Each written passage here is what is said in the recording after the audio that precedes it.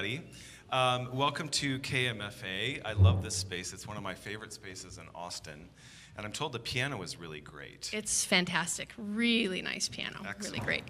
So, um, thanks to KMFA for having us this evening. And um, just a little bit about why we're here together. Um, normally, for the operas, I do something called conductor cues. Um, and th- what I ch- my goal with it is to get a little deeper into subject matter than just things you could find in Wikipedia, right? To kind of give you an inside glimpse of the piece and what about it um, we, we want you to know to enhance your experience. And um, the great thing about tonight is, you know, we're, we're expanding the scope of this, which is really great. And so I have with me Michelle Schumann um, from the Austin Chamber Music Center. And we're just going to have a conversation um, about Beethoven. Um, and you're going to hear a couple of performances. We are adjusting the program slightly because one of the singers who was going to join us tonight um, did not make it in time. Um, but we still have um, our leading, our main leading lady here with us. Um, so we've got some wonderful performances for you. And um, but the title that we that Michelle and I came up with, Beethoven as dramatist. we wanted to start kind of bringing the lens of what makes uh, Beethoven's only opera something special, and then, but from a musician standpoint, why Beethoven? And uh, you know, not just why are we doing this opera, but why is this a, a composer about whom we talk incessantly? And, and we spend all of our time as musicians, you know, learning Beethoven sonatas. And, you know, when you're learning, uh, you know, uh, theory, you're studying Beethoven string quartets. And, and so, you know, there's such a seminal figure musically in, in music history. So I'm just going to ask you, why Beethoven? Yeah, it's a love affair, isn't it? It's an amazing love affair, especially between musicians and, and, Beethoven, and of course between audience members too. And it was it's always thrilling to me when there's synergy in a city in terms of like what things are being presented.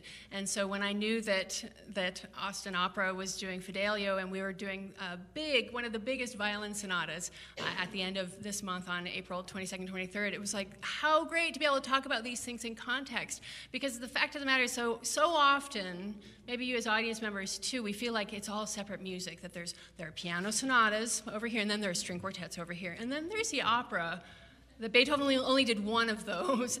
And, but there's this incredible synergy between all of Beethoven's music, of course. And what I find really amazing about the different styles is that we talk in each other's terms all the time. So um, in this violin sonata that you're going to hear, like all in rehearsal, all we do is talk about drama. All we do is talk about the story of the piece. All we do is talk about like what is Beethoven trying to say and does that matter? What do we want to say? You know, what is the story behind the story of those things?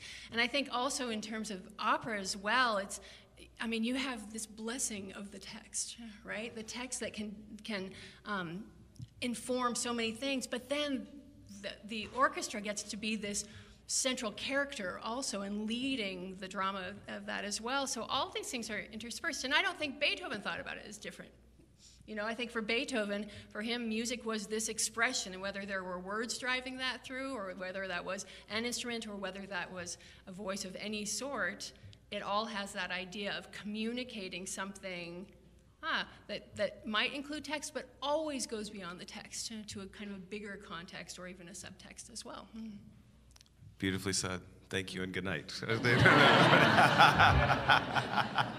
um, yeah, no, this is uh, exactly right. Um, and I think um, just a little bit, I want to touch on what you said about context, and then we'll get a little bit more into Beethoven as the man and the composer. Um, but in regards to context, what you're saying is true. And I remember when I was a student and I had the opportunity to work with a really, uh, at that point, the, the best, you know, most well-known musician I'd ever worked with.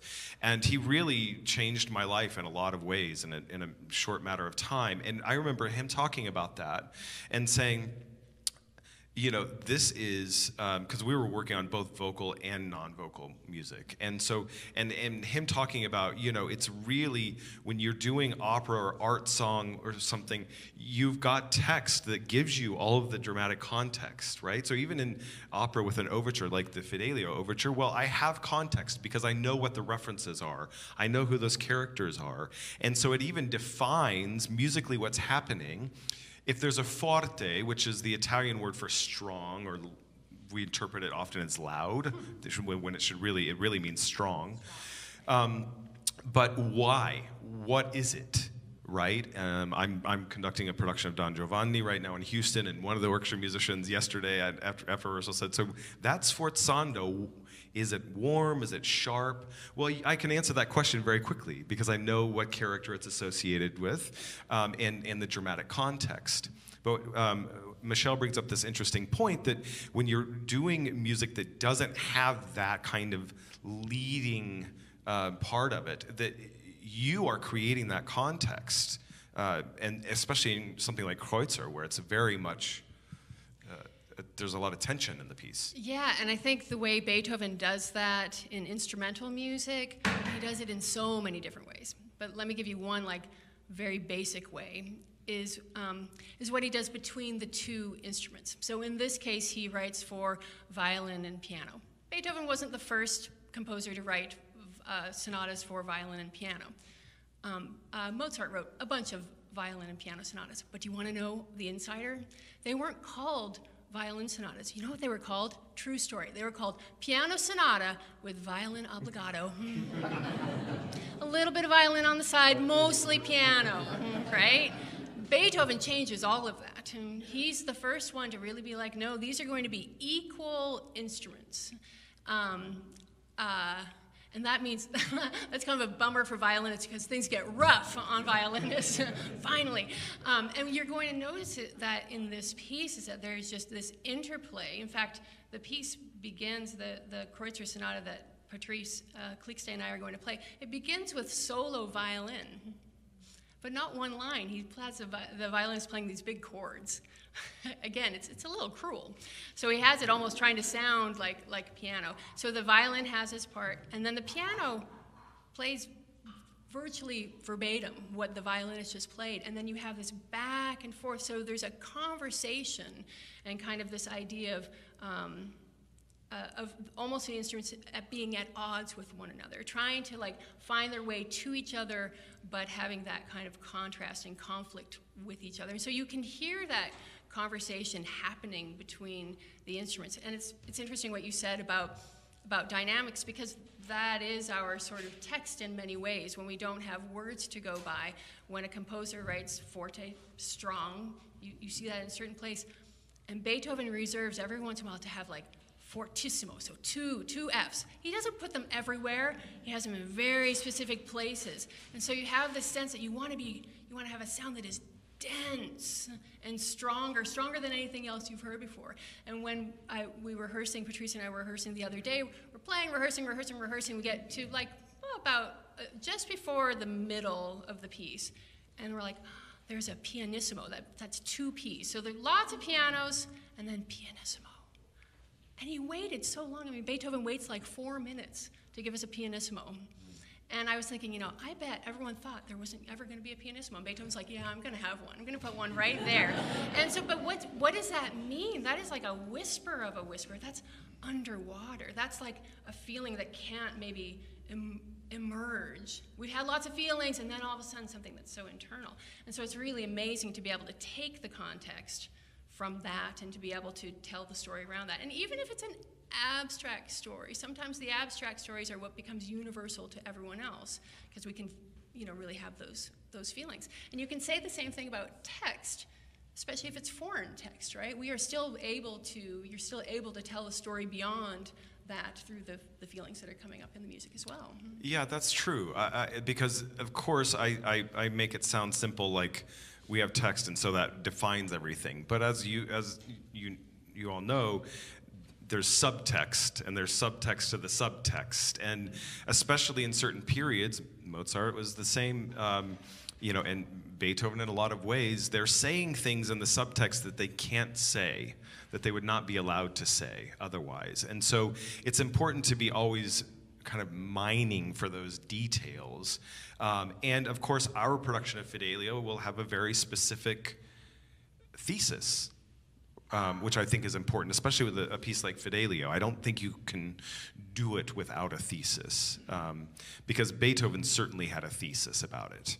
And um, that's a good kind of jumping off point to talk a little bit about Beethoven, the man, and kind of where these works are located in his, in his life. Uh, both the Kreutzer Sonata and um, Fidelio are in his middle period uh, which is commonly referred to as his heroic period.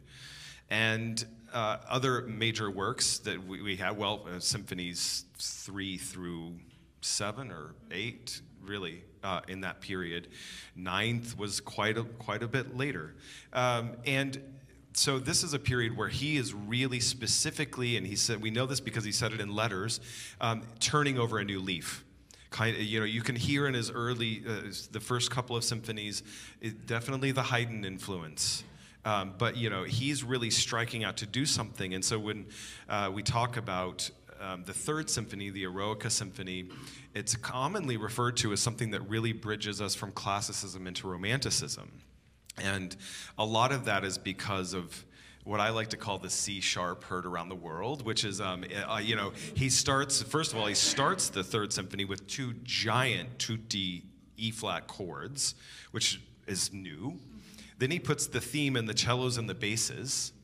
And then all of a sudden, in the seventh bar, he, so you're moving along in very common E flat, and then the cellos and the basses go down to a C sharp, which in music theory terms, especially in that period, people are really wondering what's going on because that's a very uncommon it's a completely unrelated you know harmonic um, move something that people would have never heard before. And it's also the scope of what he was writing with the eroica symphony. Um, it's, it's long. It's way longer than any than any symphonic work that um, had been written at that time.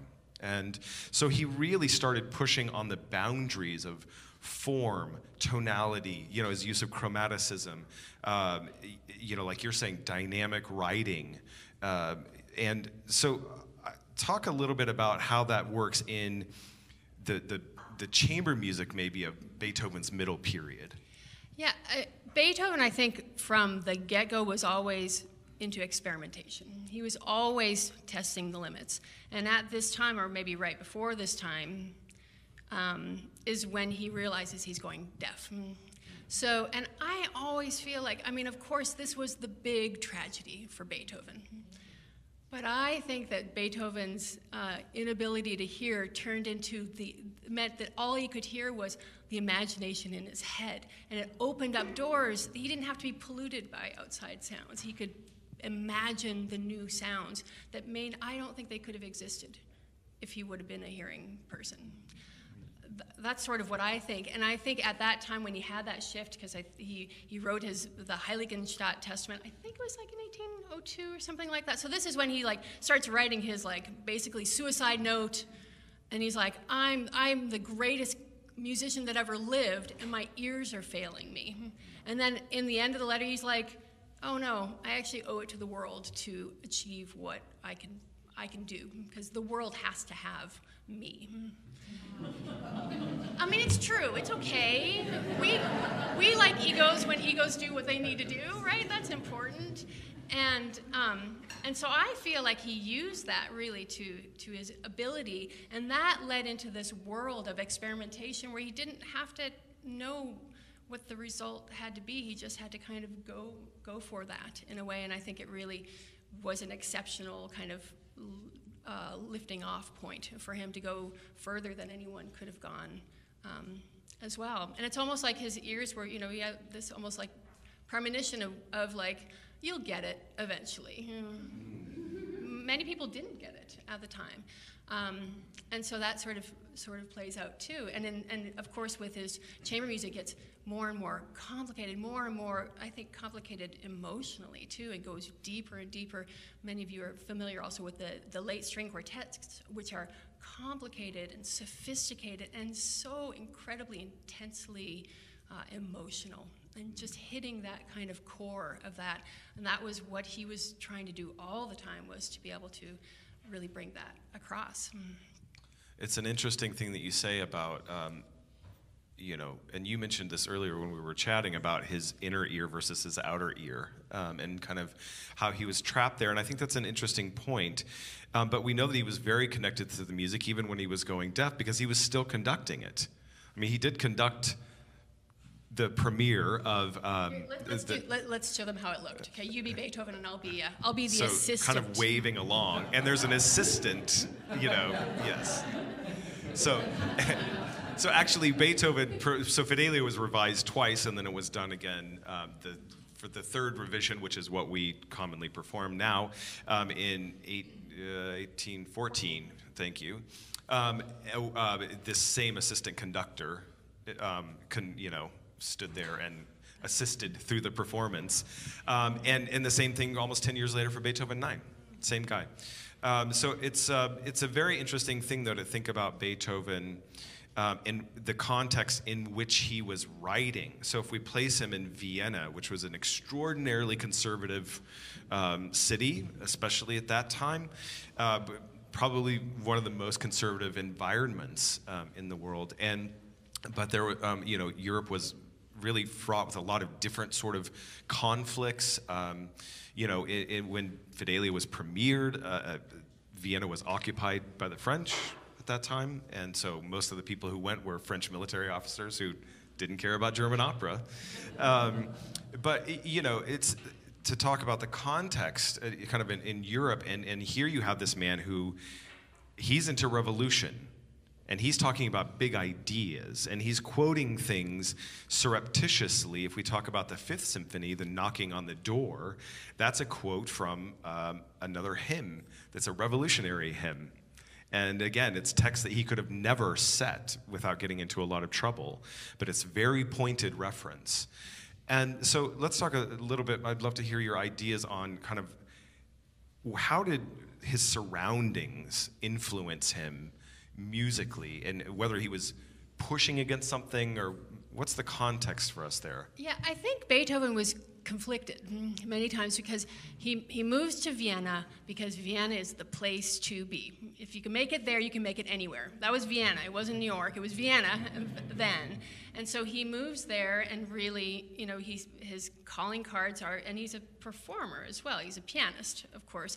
And so, um, and what's interesting, actually, his Opus 1, so he had composed before that, but his Opus 1 um, is the first pieces that he chose to be published, kind of his like, here I am, and he was in Vienna at the time, and they're piano trios, which was really unusual. Actually, no one had really taken the piano trio, which means uh, violin, cello, piano, really that seriously. And the Beethoven says, this is my Opus 1, and they're fantastic. They're unbelievable pieces of music. And I, I think Beethoven always had the conflict of not, mm, he was a individual all the way, did things his way. He had lessons with Haydn, but he was like, ah, Haydn doesn't really know what he's talking about. Um, so he was his own man, independent, had his own spirit, um, and wasn't interested in being a populist composer, but he needed that too. So I think he was really conflicted between wanting to be independent and yet needing the crowd and wanting to be wanting to be loved, but not wanting to care about being loved. And so I think that that's like part of Beethoven's whole psyche at all times. It's just constant conflict between wanting to achieve potential but not wanting to care about that achievement.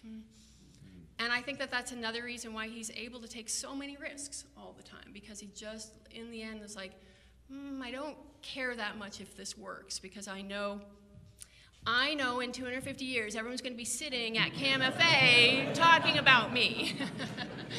yeah, it's true. And I was thinking about this earlier today that what, it's interesting that Beethoven, during his lifetime, never heard a lot of his music played very well.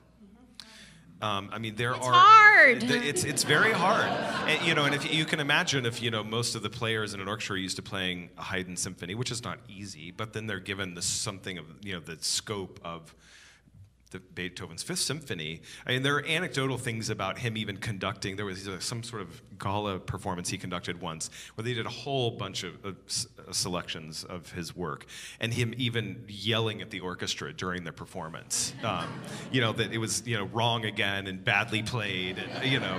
So it really wasn't until after he died that the performance standard caught up. Um, so not only is he trapped inside his own head, and he never was completely deaf, he could always sort of hear low tones or really sudden loud things. I wonder why he started Eroica that way. Um, um, but uh, you know, also that the fact that to never really hear it done how it happens in here um, is something to think about. Well, shall we Yeah. hear some music? Yeah. Let, so let's segue into the first um, musical selection. It's a good segue because we just said the music's hard. This is a really hard piece. Um, like it's noted, you know, noted to be one of the, the most difficult sonatas for violin and piano. Um, it's called Kreutzer because it was written and dedicated to a great violinist at, at the time. His name is Rudolf Kreutzer, and everyone calls it the Kreutzer Sonata. I just found out today that Kreutzer hated it. He's like, I'm not playing this piece. I can't stand it. So I- I'm like, Patrice and I were talking, like, why did the, the moniker stick? Anyway, so that the moniker has stuck. And it's, um, I mean, it's everything that we've sort of talked about this idea of like um, struggle against uh, kind of difficulty, contrast, conflict, and then somehow coming together amidst all of that too. Incredibly dramatic, and I'm uh, really happy to have Patrice Calixte playing. He's of course in your orchestra. He's a fantastic violinist, um, and so uh, we should welcome him to the stage. All right, Patrice, thank you.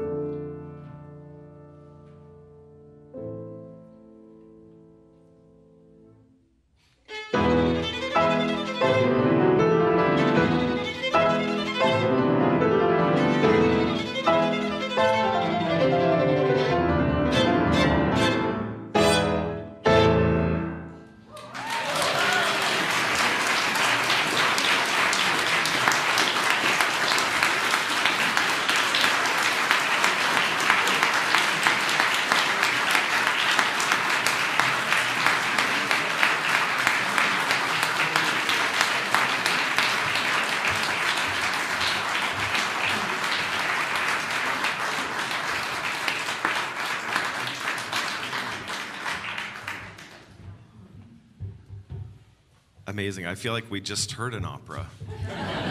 Um, y- You know what was particularly fun about this performance? So, you know, in chamber music, like this piece or this movement then will be followed by two more movements hmm, a big variation movement and then a finale, which is really exciting too.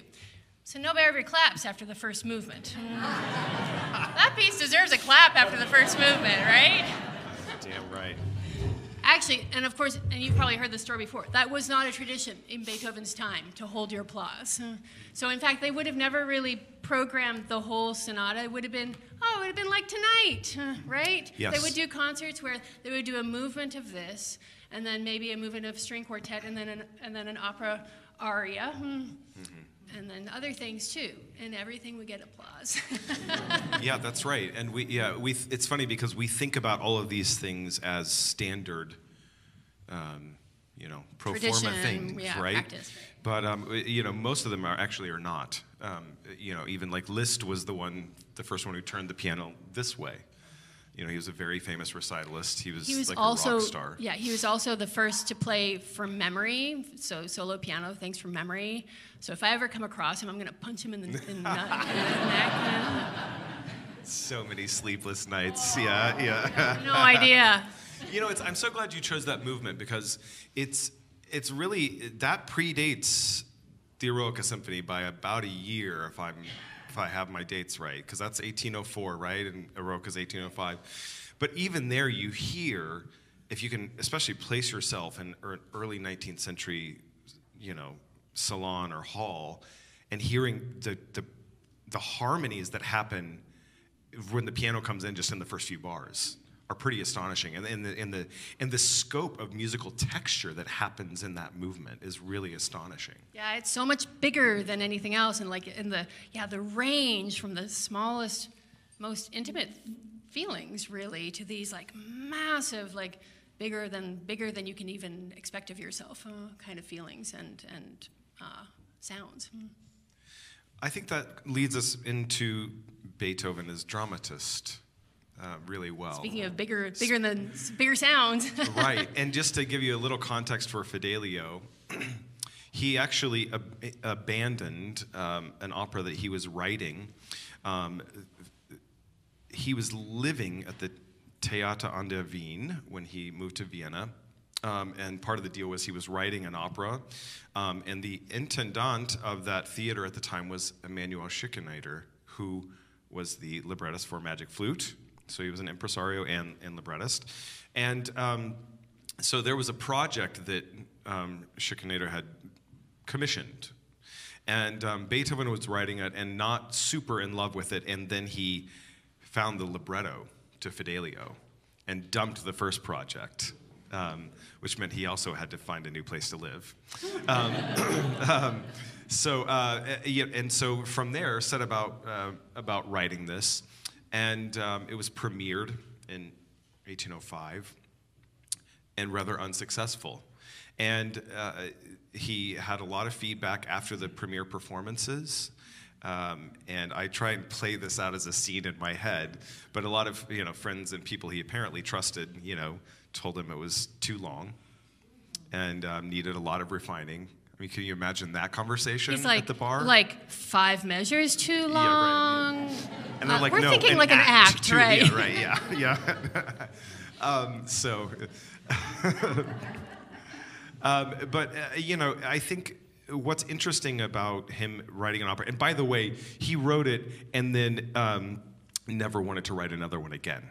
And so when he revised it for the second time, um, and it was re-premiered in 1814, um, he, he, it was another librettist helped him kind of do a lot of the revising, and he wrote that person a letter hold on, I wrote this down somewhere. Oh, yeah. He said, um, he wrote this librettist and he said, You have by your cooperation saved what is best from the shipwreck. um, and made it very clear that he had no desire to write another, uh, another opera, that he didn't enjoy the process. Um, thankfully, he wrote, he wrote this one. And Why, why do you think that is? Why do you think it wasn't a successful like um, endeavor? I mean, it was in the end the product was successful, but why do you think that was? What made it hard for Beethoven? I didn't ask him this ahead of time, so Yeah. I'm gonna, yeah, I'm gonna call a lifeline. Um, no, I'm kidding. Um, um, um, no, I, I, well, it's interesting. It's a different craft, right? And I think a lot of people, it's why some conductors don't like doing opera, because it opens you to a wealth of things that can go wrong that normally, you know, are not available. Um, but you know, eh, but about creating a format, and um, I think when you come to when the text comes first, that really creates an entirely different approach to composition.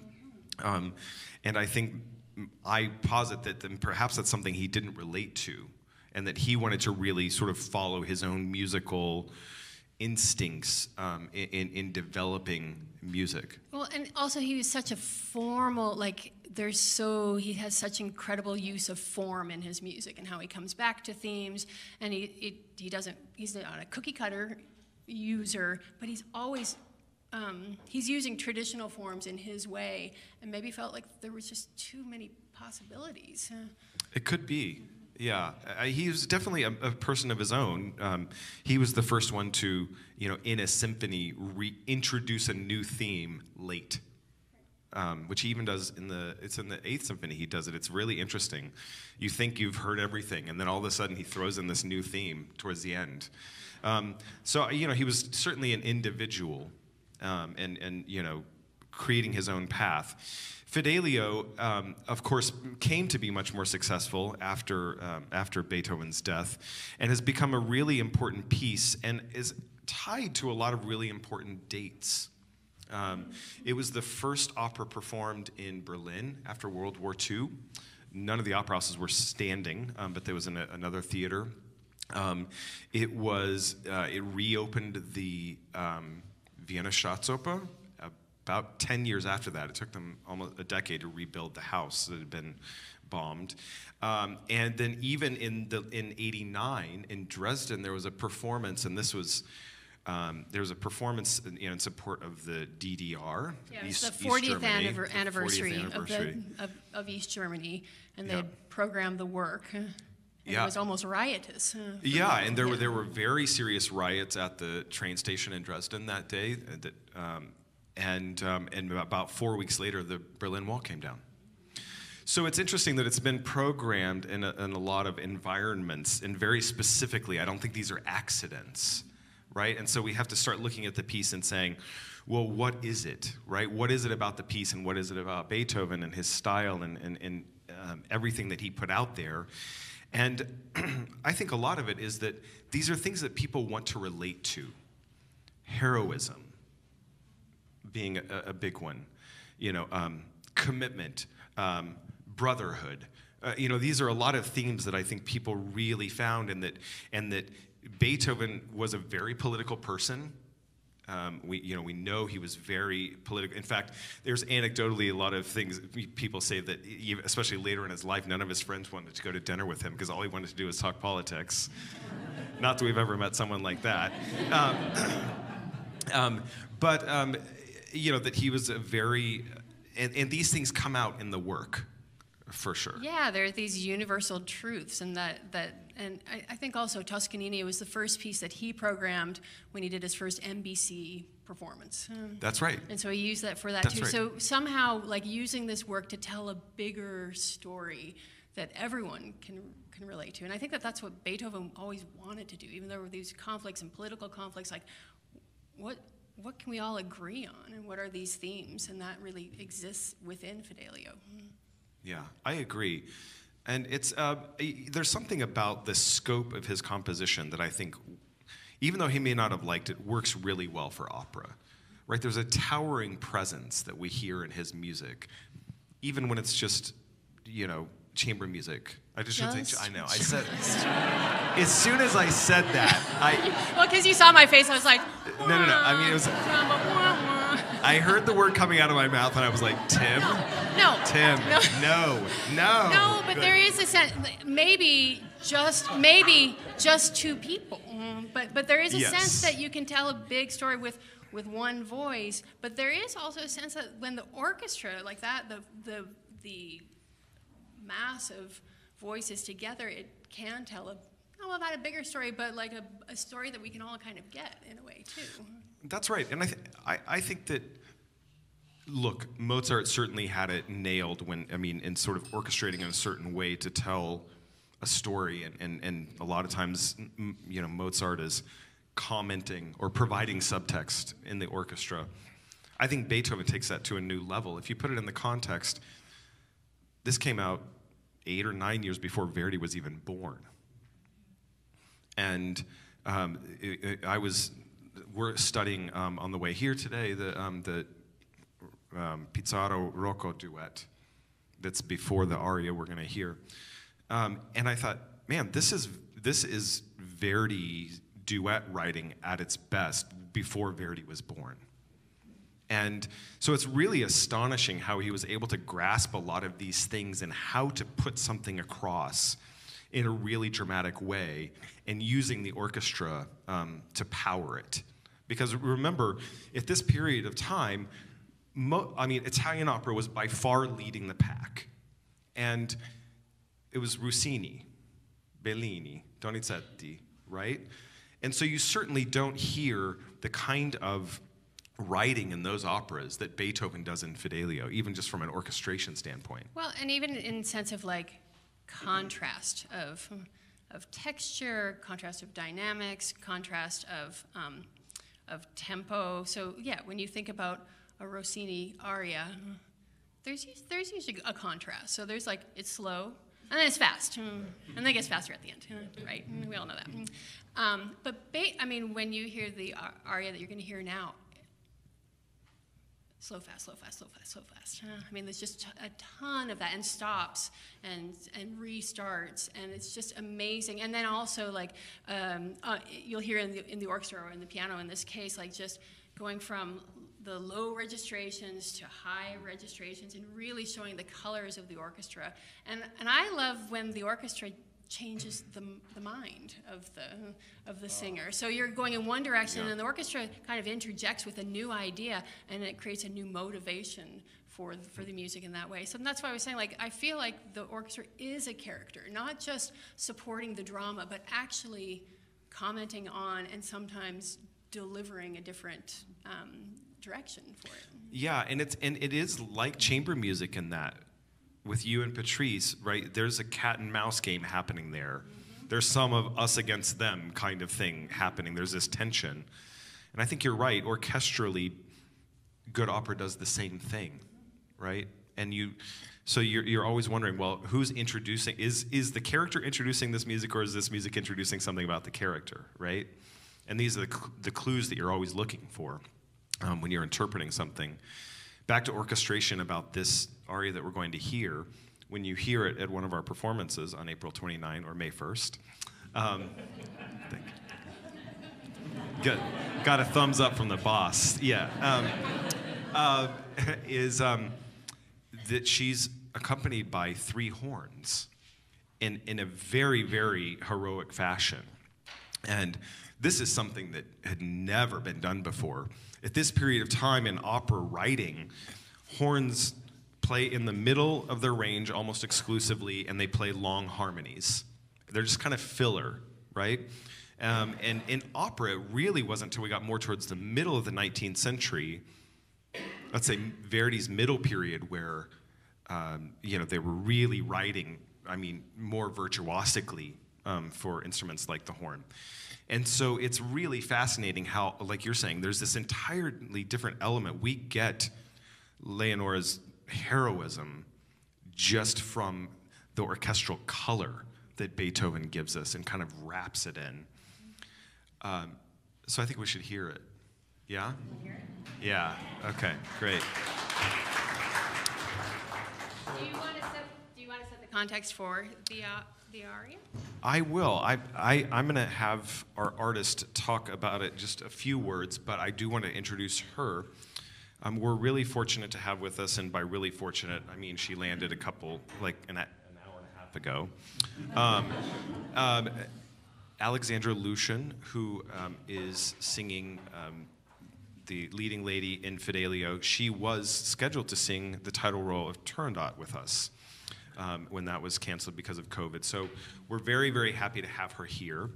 and um, she's a really wonderful artist, and I, you know, brings a lot of depth to this role that I'm excited for you to experience. And so, uh, please welcome Alexandra Loutsion.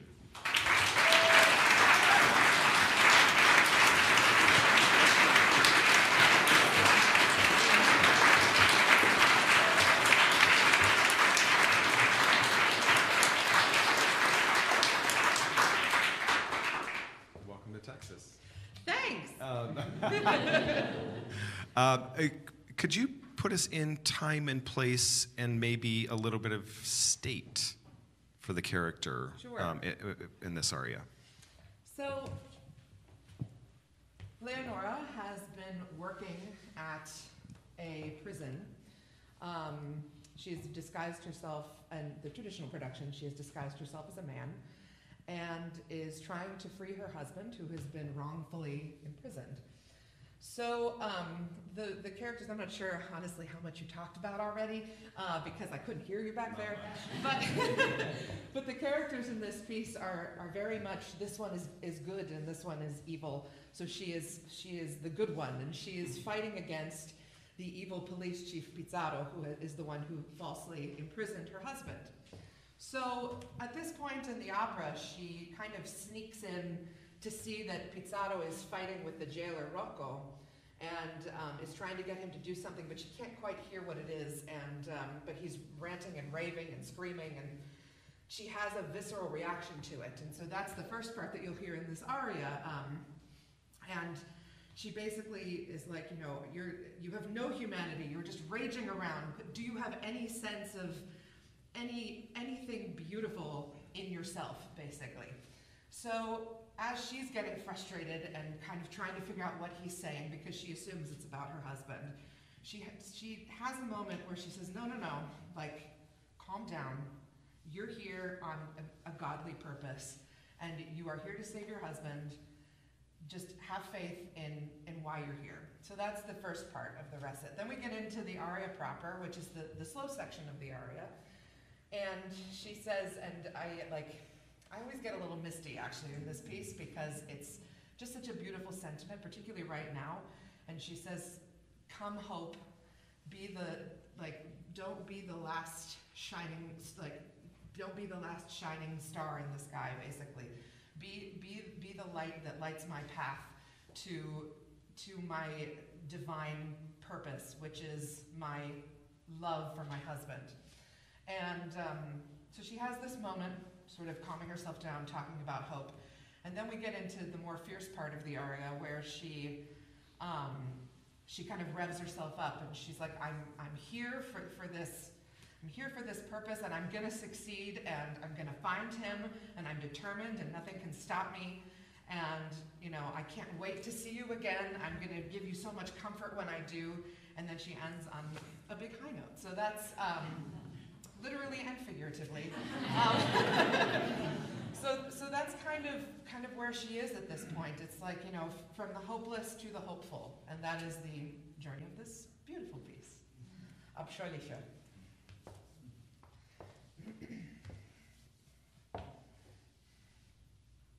Abscheuliche,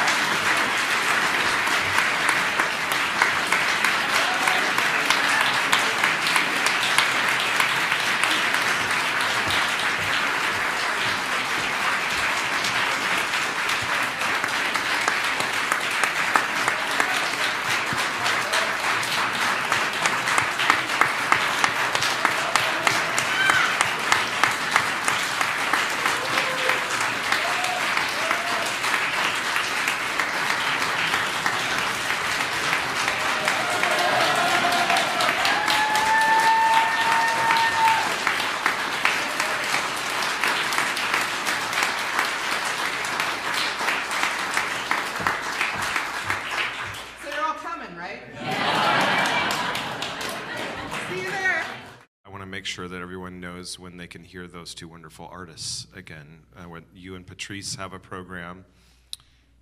Uh, yeah, so we have a concert on not this Friday, but the following Friday and Saturday. Friday, we're in here, um, and then on Saturday, we're at the First Unitarian Church. We, we're doing that, uh, that piece, which is an amazing big work. And then on the second half, it's the Tchaikovsky Piano Trio, just a little ditty on the second half. it's also amazing, humongous, uh, fabulous work, too. So I hope you will join us for that. Yeah, so check that out. Yes. And um, please join us for Fidelio at the Long Center. It's April 29 and May 1. We've got two performances. This is a brand new production um, that is very, very interesting. And as I said earlier, I think doing a piece like this, you have to have a thesis. And there's a very um, an excellent thesis with this production. Um, it's also exciting. You you will see the orchestra on stage, and the set is kind of built around them and through. And um, so I, am excited about that because I think with music like this, it's great to have the kinetic energy of the orchestra there on the stage and, and involved in the action because it's providing so much energy. And then we really get it visually and aurally at the same time. Thank you so much for being here. Thank you, Michelle. Thanks to our performers. Thank you, Thanks to. KMFA and everyone.